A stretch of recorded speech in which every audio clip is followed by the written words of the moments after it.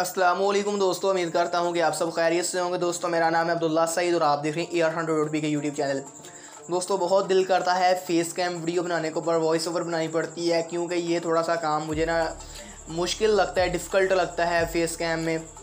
क्योंकि voice over में मैंने तो स्टेप बाय स्टेप मुझे कवर करना आता है इन चीज़ों को, मगर मैं फेस कैम में मुश्किल थोड़ा सा मतलब कि लगता है। तो इस लिहाज से फेस कैम वीडियोज़ नहीं अभी बना रहा। इन जो वीडियोज़ मुझे लगता है कि फेस कैम बनानी चाहिए, वो मैं बनाता हूँ।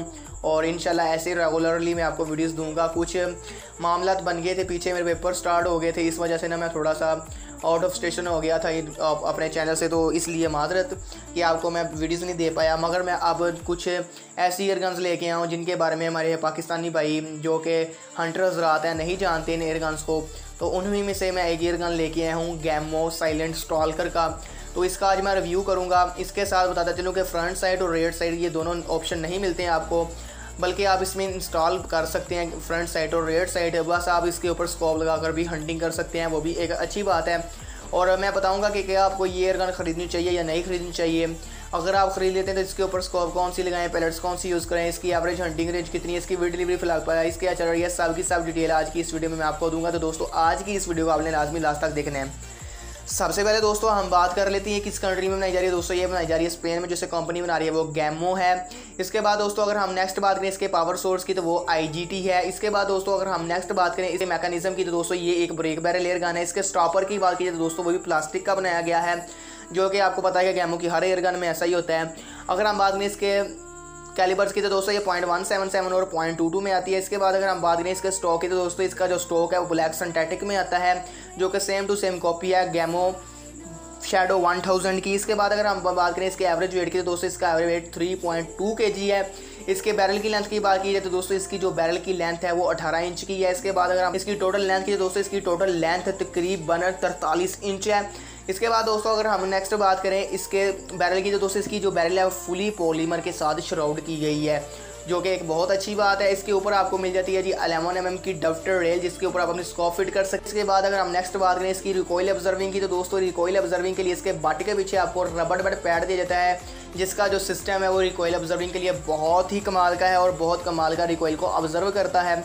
इसके बाद अगर हम बात करें इसकी मेन चीज़ विलोसिटी की तो दोस्तों पॉइंट वन सेवन सेवन पर आपको देती है तेरह सौ एफ़ पी एस मैक्सिमम और पॉइंट टू टू पर आपको देती है नौ सौ पचहत्तर एफ़ पी एस मैक्सिमम इसके बाद दोस्तों, अगर हम नेक्स्ट बात करें, इसके ऊपर स्कॉप कौन सी लगानी चाहिए तो दोस्तों, इसके ऊपर आप स्कॉप लगाएँ।